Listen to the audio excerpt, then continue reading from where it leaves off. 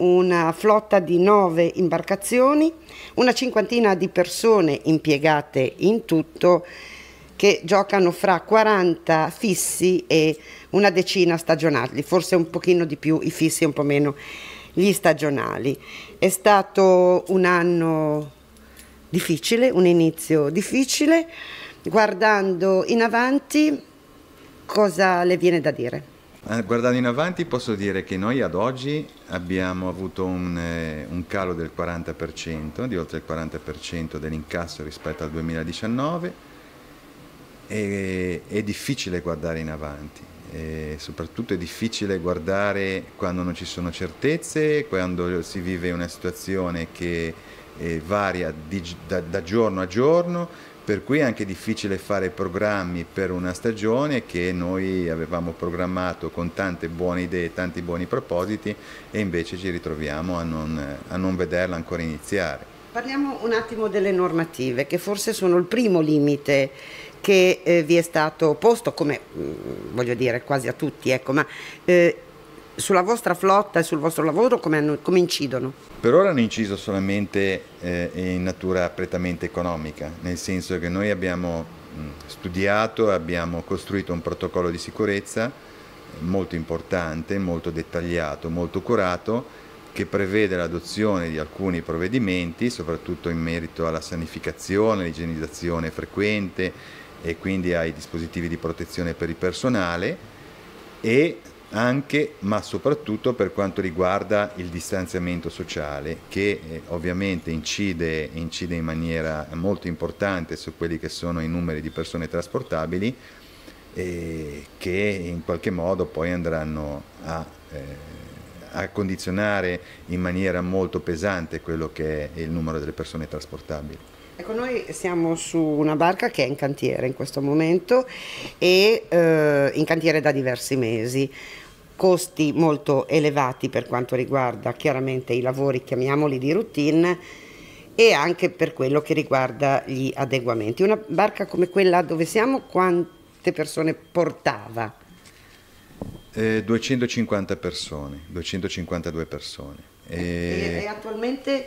quale potrebbe essere il numero di persone che potrebbe trasportare? Considerando il distanziamento sociale di un metro, siamo sull'ordine delle 100 persone. Ovviamente poi questo numero può variare in funzione del tipo di clientela, nel senso che dovremo considerare i gruppi familiari, quindi i conviventi che possono viaggiare insieme, però partiamo dal eh, limite più basso che è delle 100 persone. Ecco, lei mi diceva che eh, suo padre ha iniziato questa attività più o meno nel 1954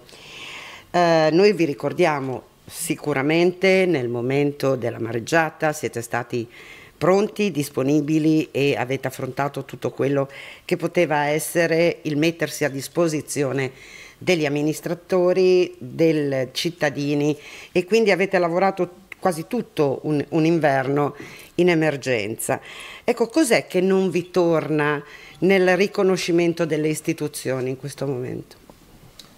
Ma eh, la cosa principale riguarda soprattutto i nostri dipendenti, cioè le persone che lavorano per noi, perché è inammissibile che a distanza di tre mesi e mezzo il nostro personale, che siamo peraltro siamo stati costretti a mettere in cassa integrazione, non abbia ancora percepito un euro. E tutte queste persone hanno famiglie, hanno figli, hanno mogli, hanno tutta una serie di situazioni piuttosto più o meno eh, critiche che, eh, per le quali comunque bisogna eh, intervenire immediatamente e che bisogna considerare e che ad oggi non sono state considerate. Questa è la cosa più grave. Noi ci siamo resi disponibili per svolgere il servizio di collegamento perché era doveroso da parte nostra intervenire in una situazione di emergenza, perché come dico io nella vita non puoi sempre prendere, cioè noi lavoriamo fondamentalmente grazie a Portofino e eh, nel momento in cui bisogna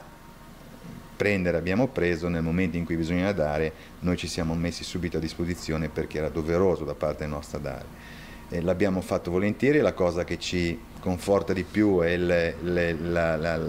la, quello che in qualche modo ci inorgoglisce maggiormente è che a distanza di un anno e mezzo noi troviamo persone che ci incontrano e ci ringraziano ancora oggi per il servizio e per l'impegno che abbiamo messo durante tutto l'inverno. L'abbiamo fatto con entusiasmo, l'abbiamo fatto con, eh, con passione per cercare di far trascorrere un periodo critico a chi doveva raggiungere Portofino o per lavoro o per ci viveva in una situazione di relativa normalità. Diciamo che alla fine del periodo si era formata quasi una famiglia, cioè avevamo un rapporto talmente confidenziale con, eh, con, con, tutti quanti che è quello che ci portava ad andare avanti senza pensare alle ore che facevamo per il mare.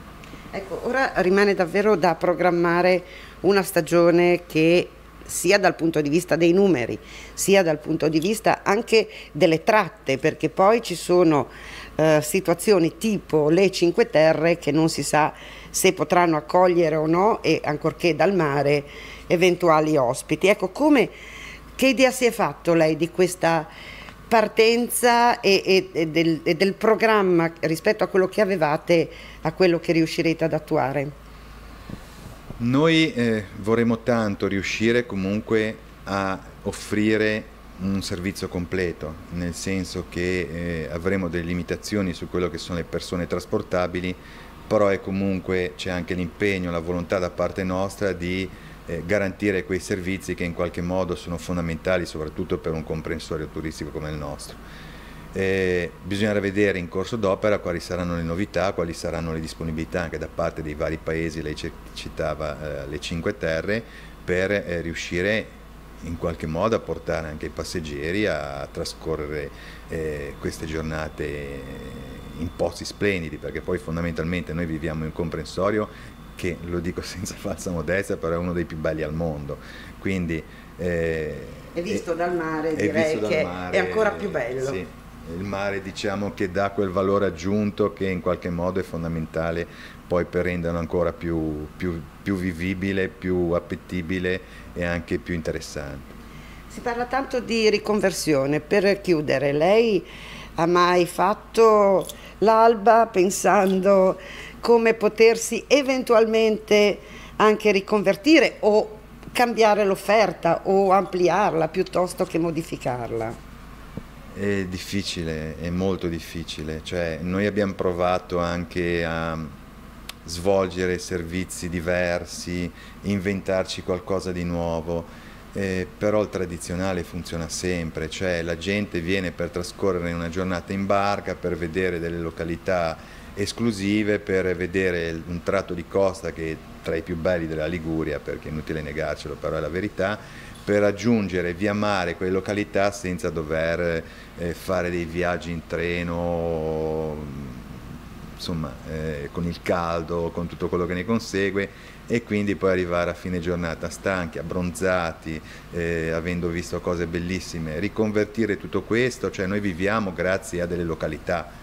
eh, quindi alla fine il trasporto via mare in qualche modo consente intanto di raggiungere quelle località e poi comunque di passare una giornata in mare. Eh, riconvertire il tutto vuol dire reinventarsi a fare qualcosa che magari il mercato non ti chiede e che non sai quanto potrebbe essere il periodo necessario a fare in modo che questo, eh, questa riconversione diventi in qualche modo appetibile. Ecco, più o meno la, la chiusura del, dell'intera operazione eh, traghetti nel, nel, nel, Tiguglio finisce a dicembre per poi ripro, riprendere velocemente a gennaio. Eh, finita l'ultima corsa a dicembre in una battuta, cosa vorrebbe dirsi e dire ai suoi collaboratori? E spero che non capiti mai più una situazione come quella che stiamo vivendo.